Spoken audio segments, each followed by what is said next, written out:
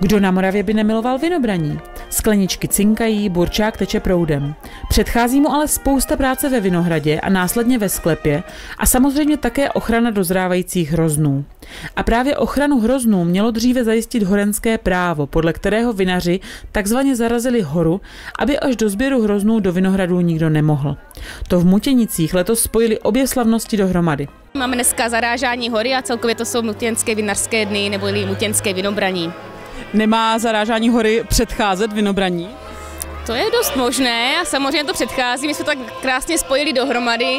My z toho máme takovou krásnou tradici, kdy se vlastně udržují nejenom ty tradice, ale ty hodnoty a vlastně jsme to spojili do jedné akce. Zaražení hory má za pomyslný úkol zabránit, aby kdokoliv nepovolaný vstoupil do cizího vinohradu a byť si jen utrhl hrozen na osvěžení. Proč se vůbec hora zaráží?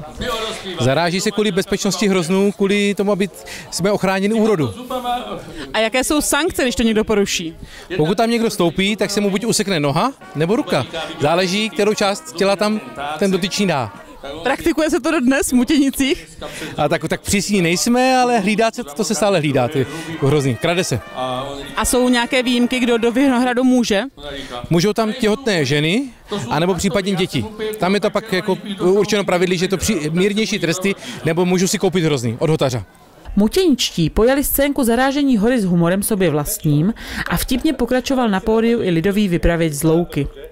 Kromě zábavného programu si ale návštěvníci užili také ten hudební. Máme tady spoustu vystoupení, je tady například několik souborů místních i přespolních, mezi místní například dětská cymbalová muzika Faninka nebo soubory Souček a Mašlička, jsou tady naši mužáci, je tady nový soubor mutěnský našich žen, dále přespolní jsou tady například z Roznové lhoty, kdy tam je soubor eh, špaček a hrozének, cymbalová muzika Fry, potom je tady soubor Radošov, takže těch účinkujících je opravdu hodně a vlastně to vrcholí potom kapelou Fleret se Zuzanou Šulákovou a Argemou. Své veřejné poprvé si na Vinobraní odbyl také nový ženský pěvecký sbor, jehož jméno bylo až do posledních velky tajemstvím.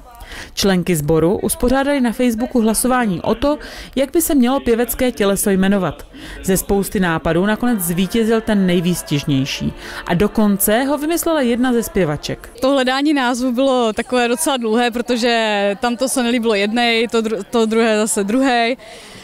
Um, takže jsme se nechali inspirovat nějakými nápady lidí na Facebooku. Uh, nicméně uh, celé mládí jsem slychala počemnic z Mutěnic, to se tak jako s oblibou říká a byl to takový okamžitý nápad na zkušce při pohárku vína. Takže z vás teďka počemnica první, protože ten váš návrh zvítězil, že? Uh, ano, zdá se to. Kdy jste vůbec vznikli?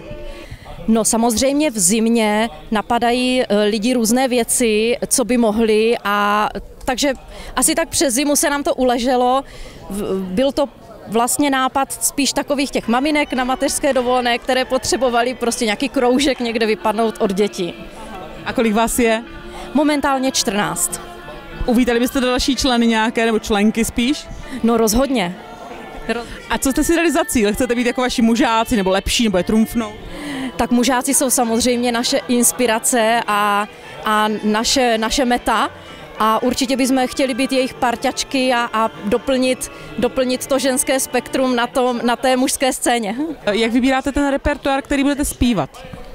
No tak zatím vybíráme podle toho, abychom to zaspívali, aby se nám to dobře zpívalo, protože jsme začátečnice, tak, tak prostě se nepouštíme do něčeho, co bychom nezvládli. Prostě zpíváme to, co se nám líbí, samozřejmě slovácké pěsničky zatím a prostě podle toho, co nám sedne.